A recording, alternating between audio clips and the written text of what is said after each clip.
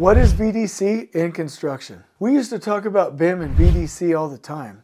Now it almost seems like a given. Are we taking it seriously enough? In this video, I'm going to show you about the different processes in VDC, some of the common tools that I'm familiar with, and some of the things that we can expect to do as basics that could be a given, quite honestly. So stay with us.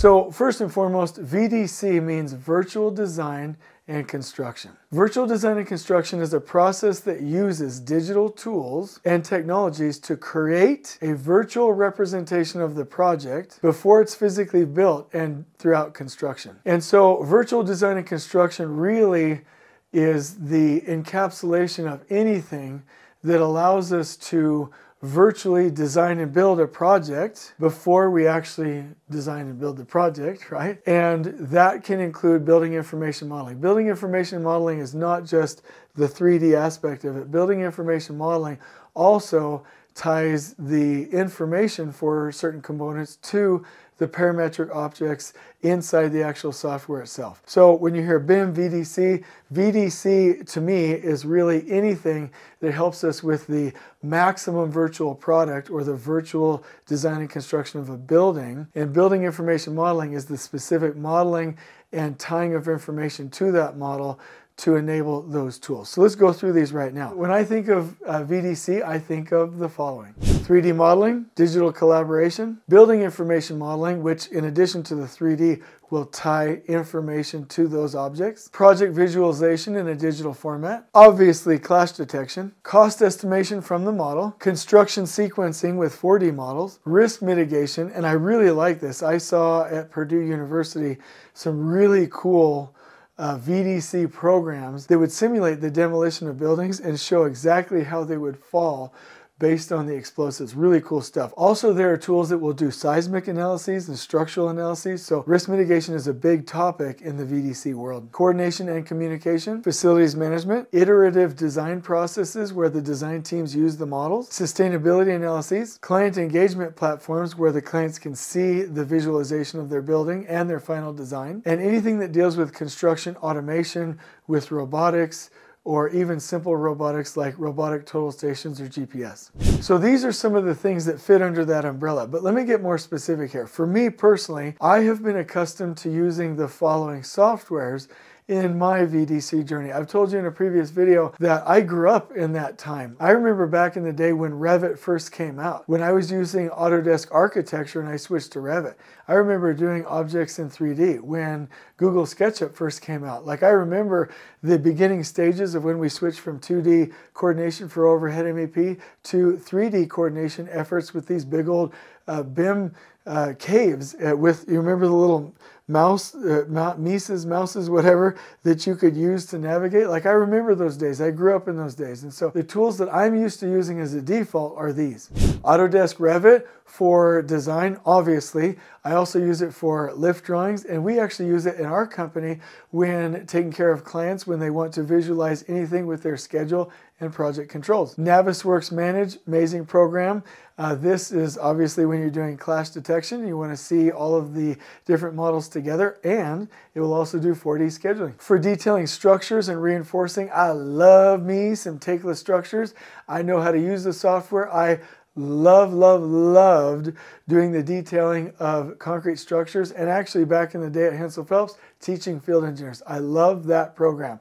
Any structural detailing company should definitely check out Tekla. Obviously Trimble Connect when it comes to surveying from the model. Solibri Model Checker to verify that your model is compliant and to find any of the issues that might need to be resolved for it to become a true building information model. Synchro Pro, which I am proficient with. I've created 4D schedules with Synchro in the past. Allows you to visualize your uh, 3D model in a timeline and see it being built according to the schedule. Assemble Systems, which allows you to uh, gain or to retrieve valuable data from your models. And there are many, many more out there that you can use. But I just want you to know that sounded like a lot of softwares, but if you and your company have a really cool VDC team, you will have experts in each one of those softwares and be able to leverage their abilities for the processes that I'm going to mention right now.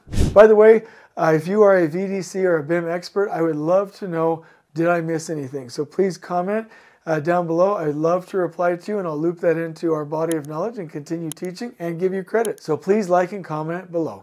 So if you're saying to yourself, Jason, that's all great and good, um, I see those are softwares that you've used. You think it's a given. Here are some things to remember. This is what you typically see. How can I use VDC on my project? Well, I'm about to tell you right now. First of all, 3D modeling. Obviously, 3D modeling will help you with visualization.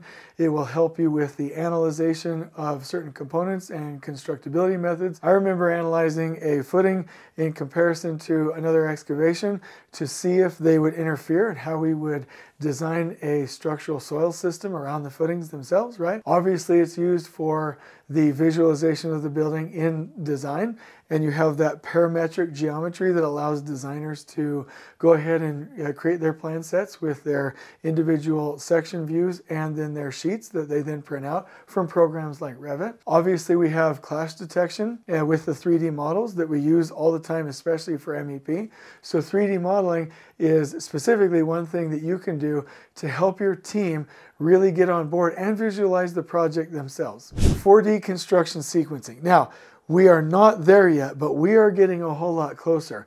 I love the visualization of time and space. I love a full blown model and I love being able to see it, how the project team intends to build it according to the schedule. Now, Granted, the software needs to make some more advances to where it's quicker, to where you can make iterations faster, but this is very, very helpful, especially in the proposal phase, especially during design, and especially to onboard and orient people to the project. I love me a 4D schedule. 5D cost estimation. I know of companies that get most of their cost estimation in addition to on-screen takeoff, but most of it from the model itself. Now, for this to happen and for the 4D to be accurate, we need complete models. And so we're getting closer and closer, right? For design models to be more complete, for our trades models to be more complete, our trade models to be more accurate, for us to be able to use them for 4D and 5D modeling efforts. But it's still very helpful, and the more we head in that direction, the better off we're going to be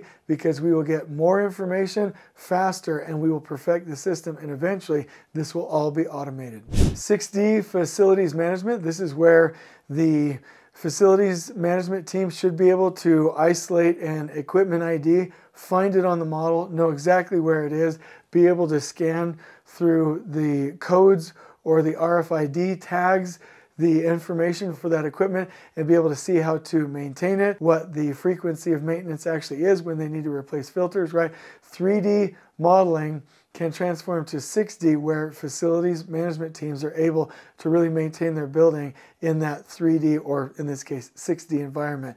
With the building information modeling aspect tied to all of those components. You will use virtual design and construction in your IPD environments. In fact, it relies heavily on that because if you're integrated in a co-located area with communication systems with the same goals and you are in cluster groups working together, the best way to visualize it is in a 3D model. One of the things that I'm super excited about is augmented reality and virtual reality, where we will be able to interact in a real physical environment and overlay and interact with the model. There are so many things that we can now with that and that will come out in the future.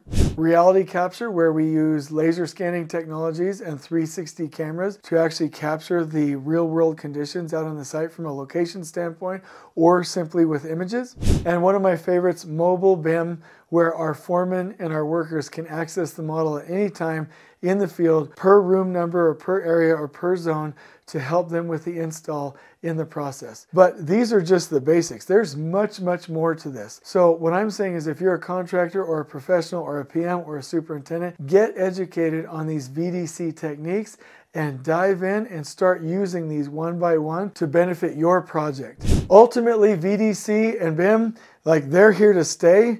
They're proven. The technology is caught up to where we're able to use them effectively. And like literally, it should be a given at this point. So when you have the opportunity to learn about it, please do. I myself was able to learn the actual applications, experiment with them, lead BIM teams, participate in BIM on IPD and design build projects and was able to go do my CMBIM certification with the AGC. So if you get any opportunity to learn about it, please do so. Any of these things I've mentioned can benefit you. I hope you're able to implement this. I'd love to receive your comments. On we go.